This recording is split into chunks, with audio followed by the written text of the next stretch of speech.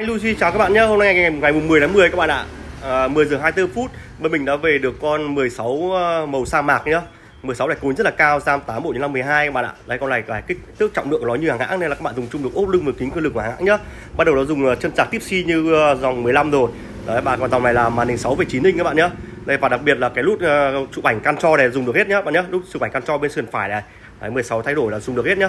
Đây camera chụp ảnh rất là đẹp luôn các bạn này. Đấy, ấn nút này là chụp ảnh luôn này. Ấn nút xuống bên phải chụp ảnh luôn. Đấy, camera các bạn này. Đấy, một con máy hơn hơn có hơn 4 củ khoai một tí thôi và giá rất là và màn hình camera rất đẹp nhấp căn trôi chụp dùng được đấy bạn nhé tại vì mình vừa quay phim mình vừa ấy lên là nó phóng to 5 chấm luôn đấy bạn ạ đấy cái này dùng đồ này đấy phóng to này bạn này đấy, mình làm phóng to nhá vuốt lên này đấy bạn à, một chấm này hai một chấm năm này hai chấm này hai chấm năm này hai chấm ba, hai chấm bảy này. Đấy, các bạn thấy không? Cái nút căn chu này dùng được nhá. Nhân lên 5 chấm luôn này. Đấy 45 đích 5 đích rồi các bạn ạ. Đấy, đẹp không? Đấy nhá, các bạn muốn tìm hiểu rõ về sản phẩm thì eBay ngay cho bên Hùng Anh Newsry tư vấn cho bạn chi tiết về sản phẩm nhá.